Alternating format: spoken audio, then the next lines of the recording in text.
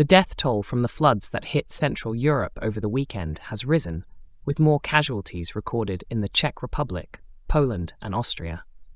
In the Czech Republic, one person drowned in a stream close to the town of Bruntal in the northeast of the country, while seven people are still missing. Four people are known to have died in Poland, although a spokesman for the Interior Ministry said the precise cause of death was still to be determined in at least one case. And in Austria, two people aged 70 and 80 died in the northeast of the country. One of them, a resident of the town of Höbersdorf, was apparently trying to pump water out of his apartment when he drowned. Eight deaths were recorded over the weekend in Poland, Romania, and Austria, where a firefighter was killed during a flood rescue operation. Don't forget follow us for more content.